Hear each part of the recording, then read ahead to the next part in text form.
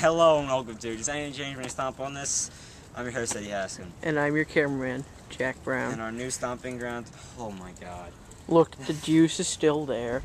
Okay, everyone, just ignore it. It's still there. We can't get rid of it. That freaking orange juice. Look! Hello for my freaking white shirt! It's white! Well, that's your own fault. Shut up. Um, so, uh, today we're doing a math book. It's like, it's not, it's not like stuff that our, us seventh graders are used to. Let's see what's in it.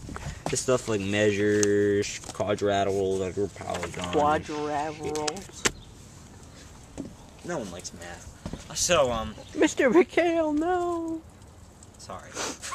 uh, so, uh, He's viewing this and crying. shh, foot and head safety is hard and won't concern. That's where we're foot protection or footwear to protect our feet and hoodies to protect our head because nobody likes, uh, anything that has to do with us going to the hospital.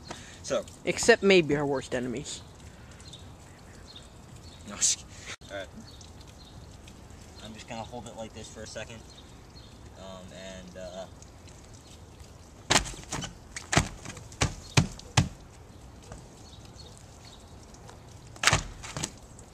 So, come in. It was about the same as the agenda. I'm, I'd I'm, say. I'm feeling cra- I'm feeling itches on my back. All right, so um, you're probably not wondering this, but does anything change when you stomp on a math book? Um, yeah. It bends just like the agenda. Put it next to it. So uh, th- that's about it for this, this episode of Does Anything Change when you stomp on this? I'm your host, yes.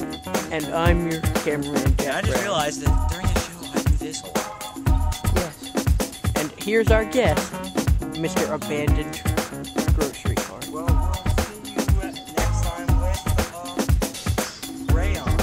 with